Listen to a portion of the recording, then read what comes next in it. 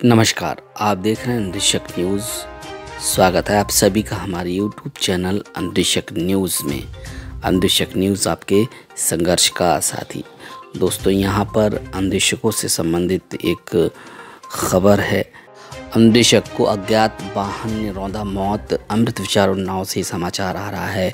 शिक्षा विभाग में अनुदेशक के पद पर तैनात युवक को गदनखेड़ा चौराहे पर अज्ञात वाहन ने टक्कर मार दी, जिससे उसकी मौके पर मौत हो गई। पुलिस ने शव को मोर्चरी की रखवाया। मृतक टूटे मोबाइल पर सिम, जब पुलिस ने दूसरे मोबाइल में डाला। तो परिजनों का फ़ोन आने पर उसकी शिनाख्त हो सकी। खोजने निकले परिजनों को बाइक अस्पताल के स्टैंड पर खड़ी मिली, जिसके बाद इस बात को लेकर संशय बरकरार रहा कि आखिर हादसा हुआ कैसे?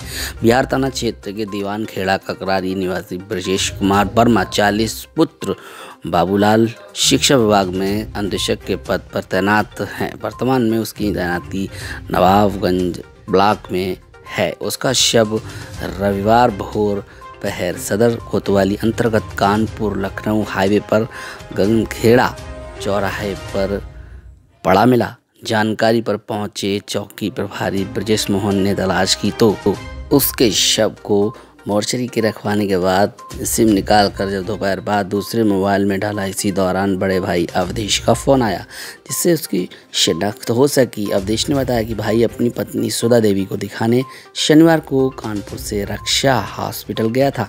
सुधा शाम साढ़े चार बजे घर पहुँच गई, लेकिन भाई नहीं पहुँचा।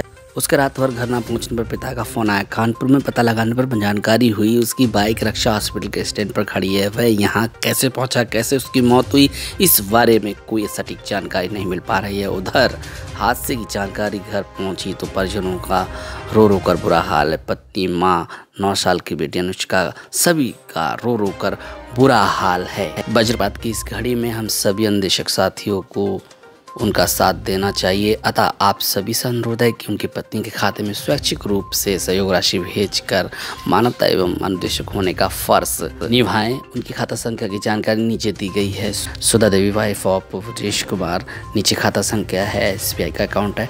आप मदद कर सकते हैं, आर्थिक सहयोग कर सकते हैं इस दुख संकट की घड़ी में। साथियों, एक निवेदन है आप सभी से। अगर आप मानवता दिखाना चाहते हैं तो इस वीडियो को ज़्यादा से ज़्यादा शेयर कर दीजिए, ताकि हमारे बीच का साथी जो इस दुनिया में अब नहीं है, उसके परिवार की आर्थिक मदद हो सके। जय हिंद, जय भारत, वंदे मातरम।